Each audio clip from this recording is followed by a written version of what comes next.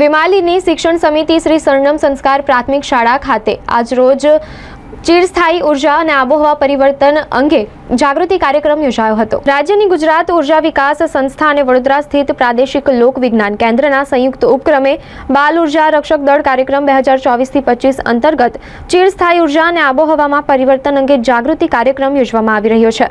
વડોદરાના વિમાલી ગામની શ્રી સરનમ સંસ્કાર પ્રાથમિક શાળા શાળાના વિદ્યાર્થીઓમાં વિજ્ઞાન પ્રત્યે રુચિ વધારવા તેમજ ચિરસ્થાયી ઊર્જા અને આબોહવામાં પરિવર્તન અંગે જાગૃતિ લાવવા માટે સેમિનાર યોજાયો હતો. શાળાના આચાર્ય જ્યોતિબેન પટેલે પ્રાસંગિક ઉદ્બોધનમાં સેમિનારનું મહત્વ સમજાવતા મહેમાનોનો પરિચય આપ્યો હતો.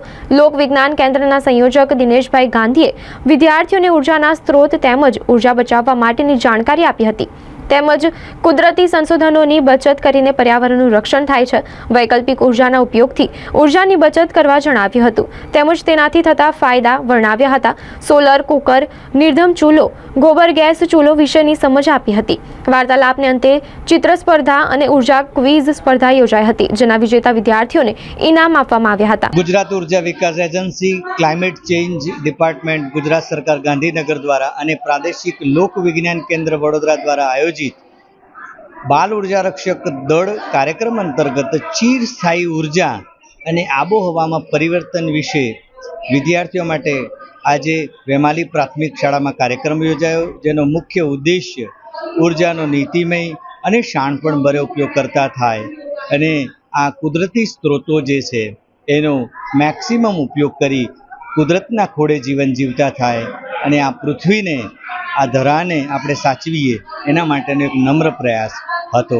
થેન્ક યુ વેરી મચ આજે અમને લોક લોક કેન્દ્ર, લોક વિજ્ઞાન કેન્દ્રમાંથી આવેલ દિનેશભાઈ દિનેશભાઈ ગાંધી એ જે અમને ઊર્જા બચત, પર્યાવરણની જાળવણી, પુનઃપ્રાપ્ત પુનઃપ્રાપ્ત ઊર્જા સ્ત્રોત, પર વૃક્ષો બચત વિશે જે માહિતી આપી છે તે અમે અમારા જીવનમાં સો ટકા ઉતારવાનો પ્રયત્ન કરીશું અને વિજ્ઞાન અને પર્યાવરણની દિશા સાથે લઈને તે દિશામાં જવાનો પ્રયત્ન કરીશું.